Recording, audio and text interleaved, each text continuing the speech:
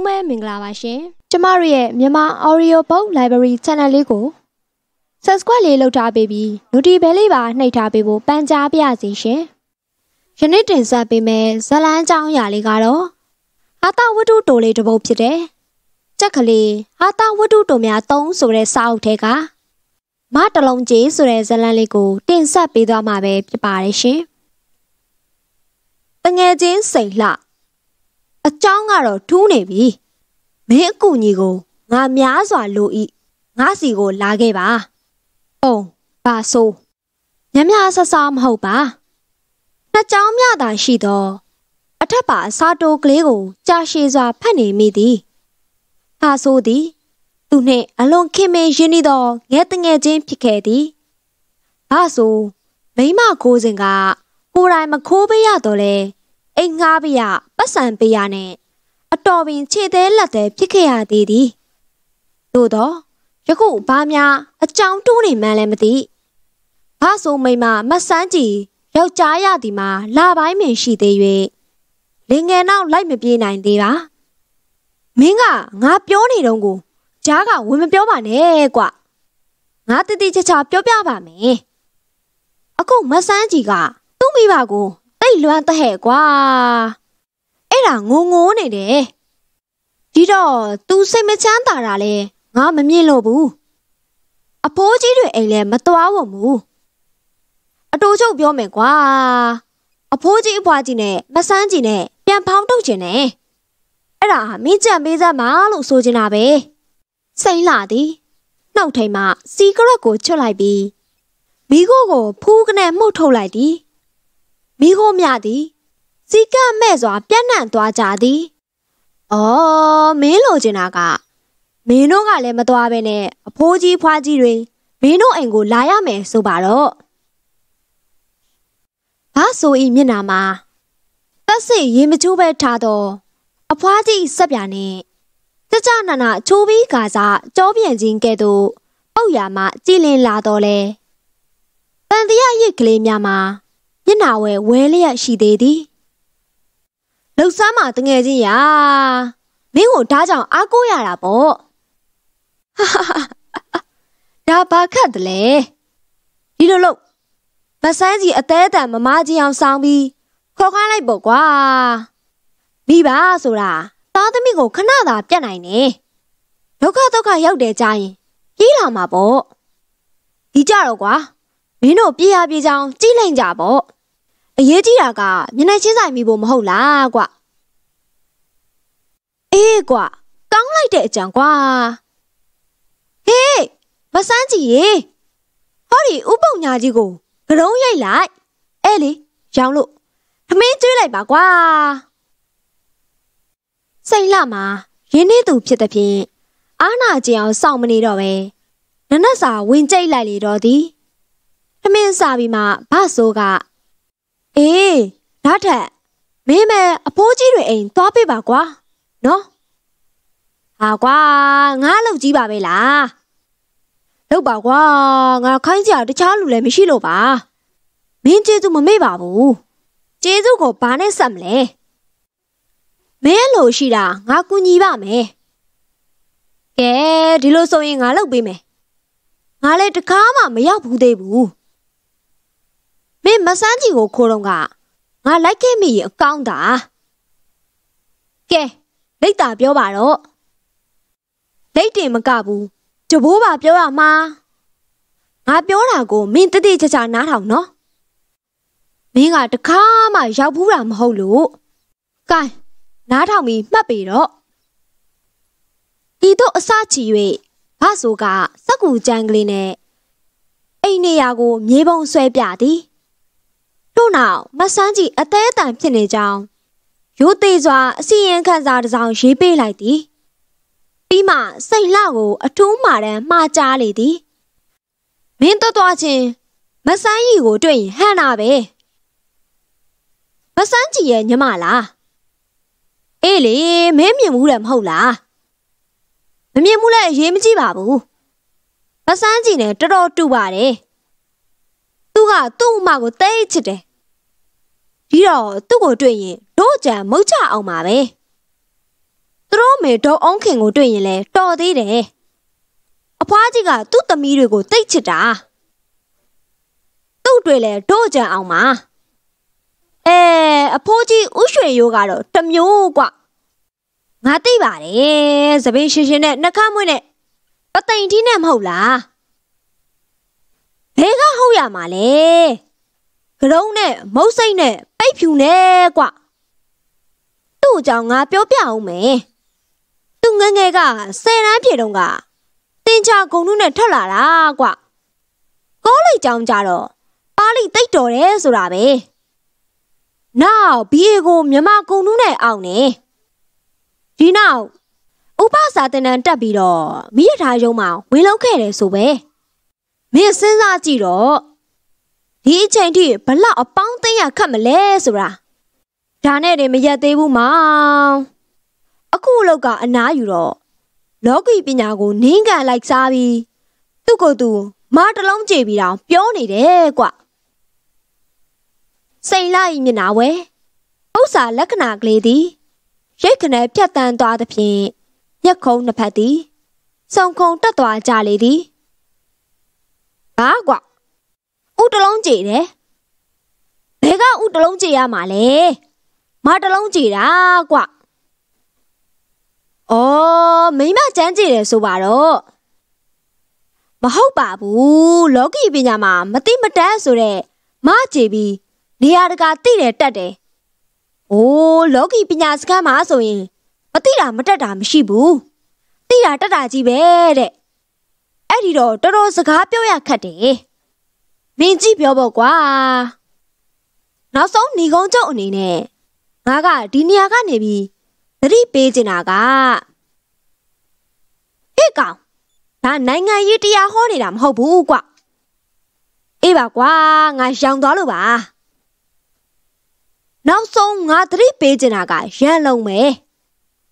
ရန်လုံးကိုတော့အထူးသတိထားကွာဟာငါမကြောက်တတ်ပါဘူး အောင်မယ်မကြောက်တတ်ဘူးမလုံးနဲ့သူကကောင်မလေးကိုရီးစားစကားပြောတယ်ထင်ရင်အနောက်ရှက်ပြင်းပြင်းထန်ထန်ပေးတတ်တယ်ကဲကွာကမြင်မြင်သာသွားပြီတော့ငါပြောတာတွေမင်းနားလည်ပြီမဟုတ်လားစိတ်လှသည်ဘတ်စကားပေါ်မှာဆင်းလိုက်ပြီးတတရာဈေးလမ်းမကြီးပေါ်ပဲရောင်ပပေရက်နေမိတော့သည်ဘာဆိုကအတင်းတိုက်တုံး၍သာထွက်လာခဲ့ရသည် သစိမ့်အိမ်ကိုရုတ်တရက်ဝင်၍မင်းသေးတဲ့နဲ့ပြေးရသည်မှာမလွဲကြောင်းရိတ်စားမိတော့သည်ထို့ပြင်ရန်လုံးဆိုတဲ့ခွေးကတမောက်ဖြစ်နေသည်ဟိုကြီးဒီကြီးကြည့်လိုက်ရာမလန်းမကန့်တွင်ဆဲလေအဆရှိသောပစ္စည်းများရောင်းသည်ဆိုင်ကလေးကိုတွေ့လိုက်ရမှာအကြံတစ်မျိုးရလေသည်သူ့အကြံကခွေးကိုထညက်ကြွေရန်အကြံဖြစ်ပေသည်ဆိုင်ကလေးမှထညက်တုတ်ကလေးကိုကင်ထွက်လာပြီး အနီးမှခြံစည်းရိုးဝေယုံကြားမှတုတ်သေးသေးရှိရှိကလေးကိုကောက်ယူလိုက်သေးသည်ဒီခွေးကိုပထမထညက်ကြွေးချော့မယ်ဒါနဲ့မှမရရင်တော့တုတ်ကလေးနဲ့ခက်နန္နာလေးရိုက်ပြီးတော့ဆုံးပါမယ်ဤတို့တွင်ရင်ဘယ်ဘက်ကဝါတုတ်ကလေးညာဘက်ကထညာတုတ်ကလေးကင်ထွက်လာသောစိန်လာသည်ရန်လုံးအကြောင်းကိုကောင်းစွာမသိရှာပေ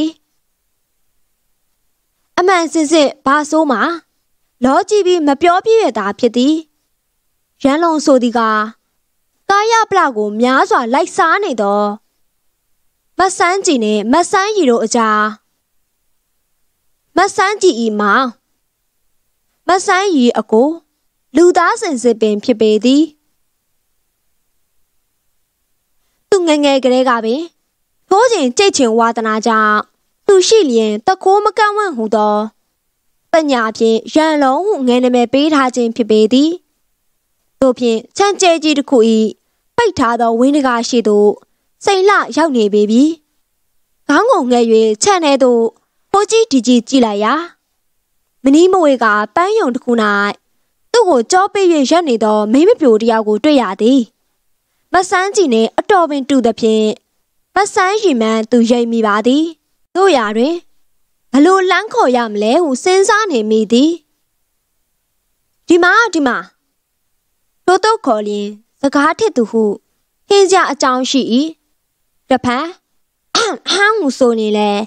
ပန်းနာတဲ့နေတူပေအံဟဲဟဲဟဲလို့ဆိုရင်လဲအယူမဟုတ်တပြင်းတယောက်တည်းမရည်တတ်အော်ဟုဆိုရန်ကလည်းဗီဒီယိုအစိုးကြောမဟုတ်တဖြင့်မချိမဆန့်မအော်တတ်ပါ အလိုးလို့ဆိုပြန်တော့လေဇက်ထဲကဘလူးမှတ်သွားပြီမည်နောက်ဆုံး၌စကလုံးရွေးကောက်ပွဲကျင်းပနေသောစိန်လာ၏အုံနောက်သည်နမဲကိုခေါ်ရန်ဆုံးဖြတ်လိုက်သည်မဆန်းကြီးမင်းမပြိုသည်နောက်မှဟိုးနှိမ့်လိုက်သောလက်ပြရဲသားကဲ့သို့ခေါင်းကိုရုတ်တရက်ခြာကနေလှည့်ကြည့်လိုက်သည်သူ့နာမည်ကိုခေါ်သည်ဖြင့်ရင်းနှီးသူတယောက်ယောက်ဟူသောအမှတ်အသားဖြင့် လှည့်ကြည့်လိုက်တော့လဲဝင်းတကားကမောင်မှာတိသူမဟုတ်သည်ဖြင့်မျက်မှောင်ကလေးကြုံပြလိုက်မိလေသည်လှပသောမျက်နာကလေးဖြင့်မြင်ရမည်ဟုမျှော်လင့်နေသောစိန်လှမှာမျက်မှောင်ကြုံကြုံကလေးကိုမြင်လိုက်သောအခါရောင်ရည်ပါဇက်ကိုဟပြလိုက်သည်တဖန်မိမပြိုကမျက်ခုံးပိ၍မျက်လုံးပြူပြသည်စိန်လာကနှာခေါင်းရှုပ်၍ပါဇက်ကိုဖျဲပြလိုက်သည်ဤသို့ဖြင့်ကျုံဟပင့်ပြူ ရှုံဖျဲခြင်းစသည်ဖြင့်အချိန်ကုန်လွန်စေကြပြီမှစိန်လာမျက်နှာညောင်းလာသည်ကိုသတိထားမိသည်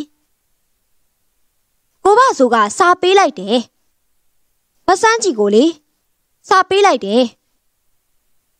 ထို့သို့ပါဇက်တဲ့ရရတွေကိုမှုတ်ထုတ်လိုက်လေသည်ဤတွင်မှမိမပြိုမှာပြုံးတရောင်ရောင်နဲ့ခက်တီတီဖြစ်သွား၍အိမ်ထဲသို့တစ်ချက်ကြည့်လိုက်က ခြံဝါသို့ခတ်တုတ်ရောက်လာပြီးဝင်းတကားကိုဖွင့်လျက်နောက်သို့တက်လန်းဆုပ်လိုက်သည်သူနောက်ကိုဆုပ်လိုက်ခြင်းအကြောင်းကပထမလူကောင်းထင်ရင်ဖွင့်လိုက်ပြီးမှဘဲဘက်ကဝရုတ်ရှည်ကလေးညာဘက်ကအတုတ်ကလေးတစ်ခုကင်ထားသောစိန်လကိုမြင်ရရာအယူထင်တရားရောင်ရှိသောကြောင့်ပင်ဖြစ်သည်စိန်လကတလန်းတိုးလိုက်သည်မဆန်းရီကတလန်းဆုပ်ပြန်သည် စိန်လကမလိုက်တော့ပါမဆန်းရီအလှသာအကယ်၍အရက်ဖြစ်ခဲ့ပါမူစိန်လရမူးပေလိမ့်မည်အရက်မဖြစ်ပဲဘိန်းဖြစ်ခဲ့ပါမူစိန်လဆွဲသွားပေလိမ့်မည်ဘယ်မလဲရှင်းစာကအော်အိတ်ထဲမှာလေရော့စာကိုပေးလိုက်ခြင်းမဟုတ်ပဲဘဲလက်တဲကဝတုတ်ကလေးကိုသာပေးလိုက်ခြင်းဖြစ်သည်ဖြင့်မဆန်းရီမှာတာ၍ နှလုံးဝိုင်းသွားရပြန်သည်သို့တော့ဘာစကားမှမပြောပဲဝတုတ်ကလေးကိုသာလှမ်းယူထားလိုက်လေသည်ရော့ဒါပါယူအောင်တဖန်ညာဘက်ကထညံတုတ်ကိုပေးပြန်သည်မဆိုင်ကြီးကလည်းဥကြောင်ကြောင်နဲ့ပင်ယူထားလိုက်ရပြန်လေသည်ပြီးမှဘဲဘက်လက်မနဲ့လက်ညိုးတို့ဖြင့်အိတ်ကိုဟာကညားလိုက်ဖြင့်စာရွက်ကောက်ကလေးကိုထုတ်လိုက်လေသည် ခမည်းဘဲလက်ထက်ကအထုပ်ကိုကျွန်တော်ဘဲလက်ထဲထက်နောက်ကျွန်တော်ညာလက်ထဲကစာရွက်ကိုခမည်းဘဲလက်နဲ့ယူပြီးခမည်းညာလက်ထဲကဒုတ်တန်ကလေးကိုကျွန်တော်ကျွန်တော်ညာလက်ထဲထည့်ပေးပါနောက်တော့မှကျွန်တော်ဘာသာကျွန်တော်ဘဲလက်ထဲကအထုပ်ကိုညာလက်ထဲပြောင်းပြီးညာလက်ထဲကထုပ်ကိုဘဲလက်ထဲပြောင်းလိုက်ရင်ငကိုအတိုင်းဖြစ်ကြရောပေါ့ မဆန်းရီမှာငိုရမလို့ရီရမလို့ဖြစ်သွားရှာတော့သည်ရှုပ်လိုက်တာရှင်ဘာတွေပြောနေရတော့ကဲဒီလိုလို့ပေးခမားလက်တရအထုပ်ကိုမဆန်းရီမှာရိုးသားစွာလိုက်နာပြီးအထုပ်ကိုပေးလိုက်ရင်ဆက်စုရမှကျင်းတ်သောမိန်းကလေးတို့၏စာတီကိုမထိန်မဝတ်နိုင်ရှာတော့ပေ။ဒါကဘာအထုပ်လဲရှင့်။ တညက်လေဒီအိမ်ကရန်လုံဖို့မဆိုင်ကြီးမှာအံ့အားတင့်သွားလေသည်။သူကစားကျင်တယ်ပြောလို့လား။စိန်လမှာခွေးစကားပြောသည်ကိုတတလုံးတောက်ဝင်ယုံကြည်ခဲ့သူမဟုတ်သဖြင့်ရှူးရှူးရှားရှားဖြစ်သွားလေသည်ဘာဗျခမည်းကလူကိုအယူမှတ်လို့သူကတော့ဘယ်ပြောမလဲဗျ ကျွန်တော်ကသူစားမယ်မှန်းသိလို့ဝယ်ခဲ့တာသူကထညက်ဘယ်တော့မှမစားဘူးဟာမပြည့်နိုင်တာပဲအုံးသေးတာတိတ်မကြိုက်ဘူးဖြစ်ရမယ်ဘသူ့အကြောင်းပြောနေတာတော့ရရန်လုံးလေရန်လုံးရန်လုံးသူ့အကြောင်းပြောနေတာစိန်လမှာစိတ်တူတူဖြင့်ခ က်ကြဲကြဲပြောလိုက်မိခြင်းကသူ့အတွက်ကြက်ချီခတ်ဖြစ်ပေတော့သည်အပေကြောင့်ဆိုတော့အိမ်မေးကထွက်လာတော့ရန်လုံးမှာသူ့အမိကိုခေါ်တန်းကြသဖြင့်လှမ်းကြည့်လိုက်ရာသူ့နှမနဲ့နှစ်ယောက်ချင်းစကားပြောနေသူကိုခက်တန်စွာတတိထားမိပြီးအသားကလေးပန်းယုံကွယ်၍ရောက်လာလေသည်ဤအဖြစ်ကိုတတိမထားမိသောမဆန်းကြီးကစိတ်ချလက်ချစကားပြောနေသေးသည်ဟုတ်ပါတယ်သူပါပဲသူထညက်မကြိုက်ဘူးရှင် ရန်လုံးကထညက်မကြိုက်ဘူးတော်ပါဗျာခမားတို့မကြွေးတော့ဖြစ်ပါလိမ့်မယ်ဒီမှာလောကမှာရန်လုံးမပြောနဲ့အင်္ဂလန်ကခွေးတွေတောင်ထညက်ကျွေးရင်စားတာပဲအဲတချို့ခွေးတွေကတော့အုံးတီကိုတိတ်မစားဘူးဘာပဲဖြစ်ဖြစ်ထညက်မစားရင်ဒီတုံးနဲ့ဆုံးမပါပဲခွေးမာသားနှမကိုရီးစားစကားပြောပြီး မောင်ကိုစော်ကားတယ်အတန်လာရာကိုကြည့်လိုက်ရာသူ့ကိုသုံးစားလောက်ရှိပြီးတောင့်တင်းတာမာသောပုပ်ကိုကိုအင်ဂျင်ပန်းယုံနောက်မှာတွေ့ရသည်ထိုပုပ်ကိုကိုသူကြောက်ပါသည်မဟုတ်ပါဘူးဗျာခမားတို့ကိုကျွန်တော်ဘာမှမပြောပါဘူးရန်လုံးကိုပြောတာပါကမန်းကရန်တောင်းပန်လိုက်မှတေချာသွားတော့သည် ရန်လုံးသည်စကားတခုံးမှမပြောတော့ပဲရှေ့သို့တိုးလာသည်နှင့်တပြိုင်နက်အခြေအနေကိုကြိုတင်မြင်မိသောမဆန်းရီမှာလမ်း၍អော်လိုက်သည်ဟောဒီမှာဖေဖေသူကရုတ်တရက်អော်လိုက်သဖြင့်ရန်လုံးမှာအာယုံပြောင်းသွားကမဆန်းရီဘက်သို့ဇက်ခနဲ့လှည့်ကြည့်လိုက်ပြီးဘာလဲနင်ကနိရီစားကိုထိလို့နားသလားထို့သို့ပြောချလိုက်ရာ မဆန်းရီမှာကြက်သွေးရောင်လှမ်းသွားသလောက်စိန်လမှာအာတုတ်အာနာကြီးဖြစ်သွားလေသည်ဒီမှာကျုပ်ကမိမနဲ့ဗျထို့တော့မဟုတ်တော့လေမဆန်းရီအဆက်ကိုကာကွယ်လိုက်မိလေတော့သည်အဲဒီလိုလူတွေကပိုဆိုးတာဓာရီဘဲကမလဲကလေး15ယောက်ရှိတယ် ဒီတက်ဆိုးတော့မှာပေါ့တောက်စကားမရှိနဲ့သိဖို့လားပြင်းရန်လုံးသည်လက်နှစ်ဖက်ကိုစန့်တင်ရန်စိန်လာ၏လဲပင်စီသို့ချိန်ရွယ်လိုက်သည်တွင်နောက်မှခြေသည်များပေါ်ထွက်လာလေသည်ဟဲ့ကောင်ရက်လိုက်စာမဘဲမစစ်ဘဲနဲ့အောင်မြင်သည့်အတန်ကြီးပေါ်လာရာရန်လုံးမှာလက်နှစ်ဖက်ကိုဇက်ခနဲ့ချလိုက်သည့်နေတူစိန်လာမှာလည်းအတန်လာရသို့လှည့်ကြည့်လိုက်မိသည် နှစ်ယောက်ဖြစ်ပါသည်တယောက်ကမတလုံးကျေဖြစ်၍ကြံတယောက်မှာဒေါ်အုံးခင်ဖြစ်ရပါမည်လူ၅ယောက်ခြံဝါ၌မျက်နှာစုံကြီးဖြစ်သောအခါအဖိုးကြီးကရန်လုံးကိုစောင်းကြည့်လိုက်ပြီးဟစ်ကောင်အိတ်ထဲကိုဝင်လို့တော့ငေါလိုက်ရာရန်လုံးမှာကုတ်ရိပ်ဝင်သွားရှာလေသည်ပြီးမှအဖိုးကြီးသည်စိန်လှဘက်သို့လှည့်လိုက်ပြီးဟောဒီသမီးအော်တန်ကြလို့ လို့ထွက်လာတာအတော်ပဲပေါ့မင်းကန်ကောင်းတယ်ရန်လုံးဆိုတဲ့ကောင်ကလုံးမရင်မင်းမတတ်တာဘူးထို့တော့ပြောမှရန်လုံးပြဿနာရှင်းသွားကရည်ချင်းတလို့လို့ဖြစ်လာလေသည်ဟုတ်ကဲ့ဦးကဦးဘကလေးထင်တယ်ထက်တေးရွှေရိုးกว่าရွှေရိုးဒါထက်မင်းကဘာကိစ္စနဲ့လာတာလဲ အော်ဦးသမီးကိုစားလာပေးတာပဲစိန်လာဤစကားဆုံးနေအဖိုးကြီးရောအဖွားကြီးပါညလုံးများအယမ်းကာ၍ပြူပြဲကုန်ကြသဖြင့်စိန်လာမှာသူ့စကားမှားသွားသည်ကိုသတိထားမိလိုက်သည်မဆန်းကြီးကပေးခိုင်းတာပါအဖိုးကြီးသည်ဘဲလက်ဖြင့်မုတ်စိတ်မွေးဖြူဖြူကိုဖျားစီကဘဘအောင်ဆန်းစွာတဖြည်းဖြည်းတက်ချရင် သူကဘာတဲ့တော့ထို့သို့တော်ယုံသာပြောလိုက်တော့လေဒေါင်းခင်မှာပြပြတလဲဖြစ်သွားပြီဟဲငါသမီးကြီးကဆိုပါလားဘာတဲ့တော့ဟဲ့သမီးမြ мян ပြပြစမ်းငါကြားချင်လာပြီ သင်းတို့ကလည်းတော်တော်ဒုက္ခရောက်နေကြပြီထင်တယ်ထို့သောမိခင်မြစ်တာဖြင့်နင်းကန်ပြောချလိုက်သည်မဆိုင်ရီလည်းမိခင်ကျင်းတဲ့ဆေးရန် စားခောက်ကလေးကိုကမန်းကရန်ဖွင့်ဖက်လိုက်သည်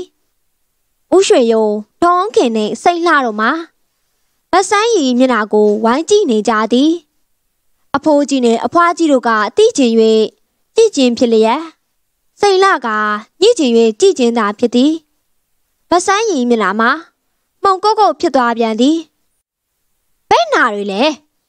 တရုပ်စာတွေလားဤရင်စိတ်လှမှာပြပြပြပြဖြစ်သွားပြီ ဟာအဲ့ဒါမြေပုံဒီရင်ကိုဘလို့လာရတယ်ဆိုတဲ့မြေပုံစားကဒီမှာထို့သောအိတ်ထဲတွင်စောစောကမှားကြံရစ်ခဲ့သောစာရွက်ကိုလှုပ်ပေးရပြန်လေသည်မဆိုင်ရည်သည်စာကိုအော်မဖက်သေးပဲသူတိယုံရှောက်ကြည့်နေ၏ဤချိန်ဝဲဥရွှေရိုးကြီးသည်စိန်လာကိုစိုက်ကြည့်နေရမှာတဖြည်းဖြည်းပုံမစိတ်ဝင်စားလာရာ နောခင်ကသာမဆိုင်ရီဖျက်နေသည်ကိုနားထောင်နေတော့လေအဖိုးကြီးမှာဘာမှမကြားတော့ပဲစိန်လာကိုမေးခွန်းထုတ်လိုက်သည်အလိုမင်းကြည့်ရတာအထက်ကအဆောင်လျှောက်တွေရှိတယ်ထင်တယ်မင်းတို့အိမ်မှာအမှန်ပဲပုံကိုကြီးတွေရှိမယ်ဟာ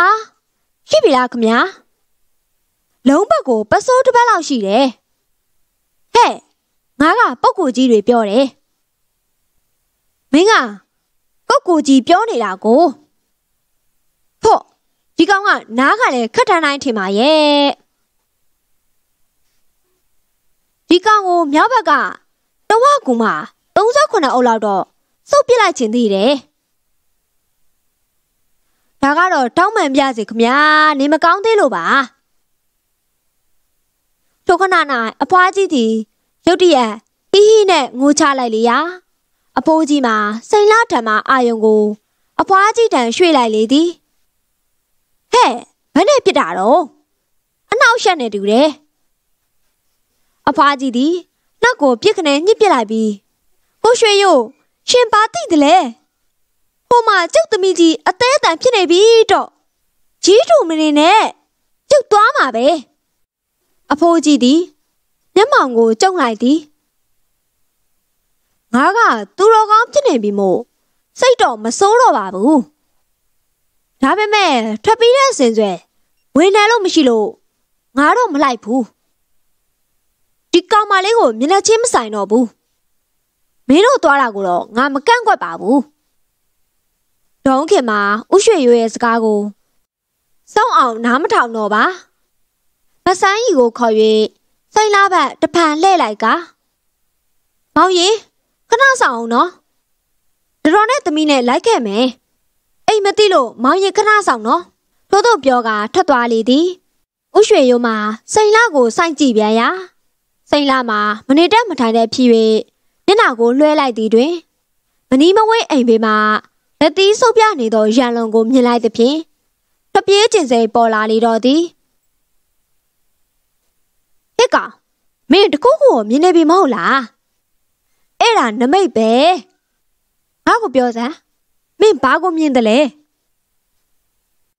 လက်သီးဆုပ်ပြနေတာကိုမြင်တယ်အဲအဲ့ဒါလက်ဆုပ်လက်ကန်ကိုပြတာပေါ့ကွမှန်ပါပြီမင်းမှာပုံကိုကြီးတွေစောင့်ပါတယ်လက်တာမှန်ရင်မင်းနဲ့ငါနဲ့တနေ့နေ့တွေ့ရအောင်မှာပေါ့